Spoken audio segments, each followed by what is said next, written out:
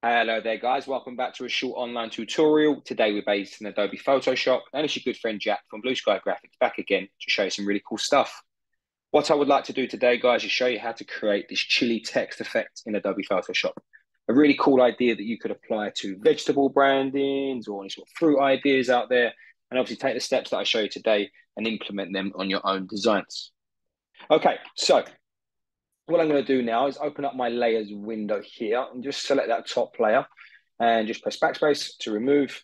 And we're going to start off with, excuse me, the original uh, image. Okay, so first thing I would need to do is make a selection of our uh, chili here. So I'm going to use the object selection tool and just simply come up to the top of the screen and press select subject. And as you can see here, we've now selected that subject. What I would like to do is duplicate this layer. Uh, the shortcut to do that on a Mac is Command J. On Windows, it's Control J.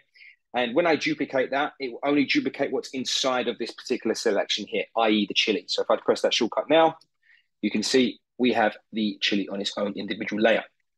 Now with the type tool here, what I'm now going to do is come through and create our word, which will be chili.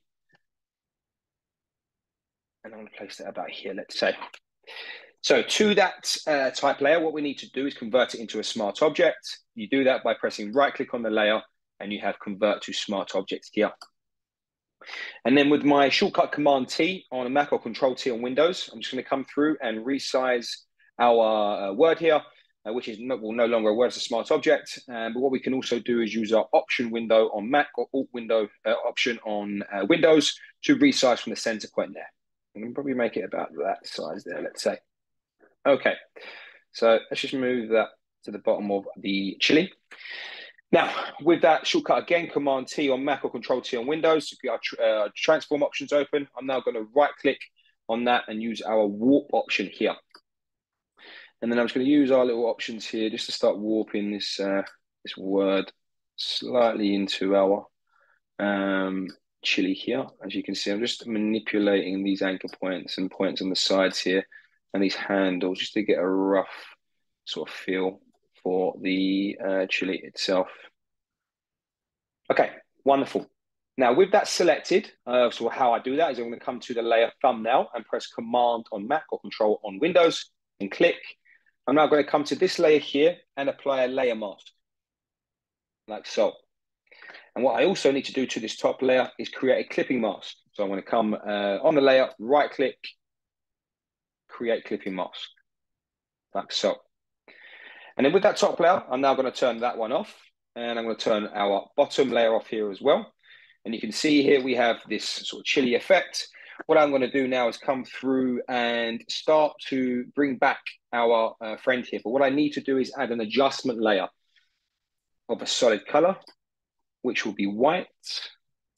There we go. And now we can come to the layer mask of that chili I'm going to use the brush tool and my foreground color should be the color white as we want to bring it back. And as you can see now, when I start to come over, we can now start to paint in and bring back the elements that we need for our chili text effect. I'm going to come here. I'm just going to miss, not go too close to the eye because you want to be sort of reading the word here. So it's going to come through like that and bring it back like so. And there you have it, guys. If you're interested in finding out more about the school, the courses that we offer, please take a look at our website at blueskygraphics.co.uk. Thank you very much, guys. Take care and I'll see you next time.